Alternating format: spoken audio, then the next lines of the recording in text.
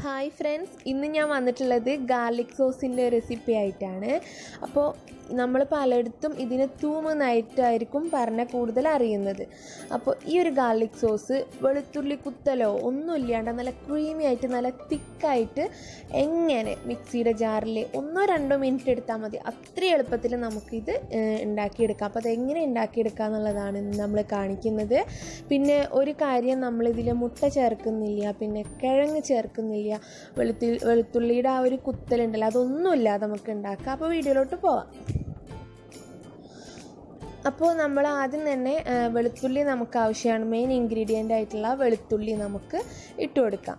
അപ്പോൾ ഇവിടെ വലുതാണെങ്കിൽ ഒരു നാലെണ്ണം എടുത്തോളൂ. ചെറുതാണ് ഞാനിപ്പോൾ ഇതിൽ കുഞ്ഞു കുഞ്ഞിതായിട്ട് വരുന്നുണ്ട് കേട്ടോ ഇത് ഒന്ന് ചെറുതായിട്ടൊന്ന് നുറുക്കിയിട്ടാണ് ഇട്ട് കൊടുക്കുന്നത്. കാരണം നമ്മളത് നന്നായിട്ടൊന്ന് അരച്ചെടുക്കണം.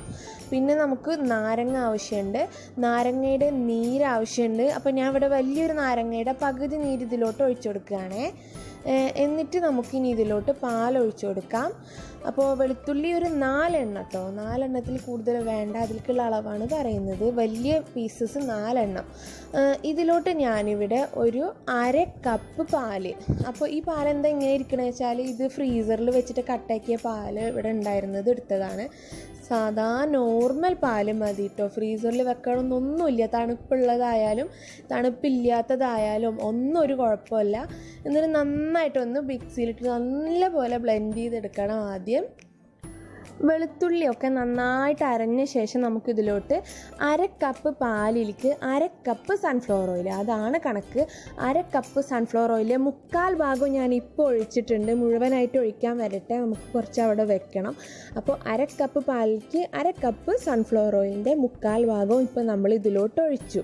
എന്നിട്ട് നന്നായിട്ടൊന്ന് ബ്ലെൻഡ് ചെയ്തെടുത്തു. ഇപ്പോൾ കണ്ടോ? കുറച്ചൊരു ക്രീമി ആയിട്ട് വന്നിട്ടുണ്ട്. ഈ ഒരു ലൂസിൽ കഴിക്കാൻ ഇഷ്ടമുള്ള ആളുകൾക്ക് ഇനിയൊന്നും ചെയ്യണമെന്നില്ല. അല്പം ഉപ്പ് ഇട്ടിട്ട് ഇങ്ങനെ യൂസ് ചെയ്യാം. പക്ഷേ നമുക്ക് വേണ്ട നല്ല തിക്കായിട്ടുള്ളതാണ് അങ്ങനത്തെയാണ് അധികം പേർക്കും ഇഷ്ടം. അപ്പോൾ തിക്കാക്കി എടുക്കുന്നതിന് മുമ്പ് നമുക്ക് ഇതിലോട്ട് പാകത്തിനുള്ള ഉപ്പ് ചേർത്ത് കൊടുക്കാം. അപ്പോൾ നിങ്ങൾക്ക് ഈ ഒരു ലൂസിൽ കഴിക്കാൻ ഇഷ്ടമുള്ളവർക്ക് ഇങ്ങനെ ഉപ്പ് മിക്സ് ചെയ്തിട്ട് കഴിക്കാം. പക്ഷേ തിക്കായിട്ട് കിട്ടാൻ വേണ്ടിയിട്ട് നമ്മൾ ബാക്കിയുള്ള നാരങ്ങയുടെ നീര് കൂടെ ചേർക്കണം. അപ്പോൾ ഒരു മുറി ഒരു വലിയൊരു നാരങ്ങ മുഴുവനായിട്ട് വേണം ഈ ഒരു നാല് വെളുത്തുള്ളിക്കുള്ള അളവ്. അപ്പോൾ ഇതിലോട്ട് നമുക്ക് എന്ത് ചെയ്യാം? ബാക്കിയുള്ള ഓയിൽ സൺഫ്ലവർ ഓയിൽ കൂടെ ചേർക്കാം. അതായത് നമ്മൾ അര കപ്പ് സൺഫ്ലവർ ഓയിൽ അര കപ്പ് പാൽ എന്നിവയാണ് എടുത്തത്. അര കപ്പ് സൺഫ്ലവർ ഓയിൽ മുക്കാൽ ഭാഗവും ആദ്യം ഒഴിച്ചു ഇപ്പോൾ ബാക്കിയുള്ള കാൽ ഭാഗവും ഒഴിച്ചു. എന്നിട്ട് നന്നായിട്ടൊന്ന് ബ്ലെൻഡ് ചെയ്തെടുത്തു. ഒരുപാട് സമയമൊന്നും ഇട്ടിങ്ങനെ ബ്ലെൻഡ് ചെയ്യേണ്ട ആവശ്യമില്ല. ജസ്റ്റ് ഒന്ന് അങ്ങോട്ട് കറക്കി എടുത്താൽ മതി. ഒരു അര മിനിറ്റ് മതി കേട്ടോ അപ്പോഴത്തേനും കണ്ടോ ഇതുപോലെ ആവും നല്ല കട്ടിയിൽ വരും. അപ്പോൾ ഇതിന്റെ ഒരു കട്ടി എന്ന് പറയുന്നത് തന്നെ നമ്മൾ നാരങ്ങാ നീരാണ് അപ്പോൾ ഇത് അത്ര പുളിപ്പൊന്നും ഉണ്ടാവില്ല. പുളി ഉണ്ടാവുമെന്ന് വിചാരിക്കണ്ടേ. പുളിയൊന്നും ഉണ്ടാവില്ല. പാകത്തിന് പുളി ഉണ്ടാവുള്ളൂ.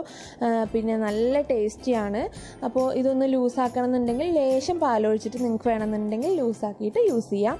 അപ്പോൾ എന്തായാലും ഈ ഒരു റെസിപ്പി നിങ്ങൾ ട്രൈ ചെയ്തിട്ട് ഫീഡ്ബാക്ക്സ് അറിയിക്കാൻ മറക്കരുത്. വീഡിയോ ഇഷ്ടമായാൽ ലൈക്ക് ചെയ്യുക ഷെയർ ചെയ്യുക എന്റെ ചാനൽ സബ്സ്ക്രൈബ് ചെയ്യുക. ഇൻഷാല്ല അടുത്ത നല്ല വീഡിയോ ആയിട്ട് കാണാം. താങ്ക്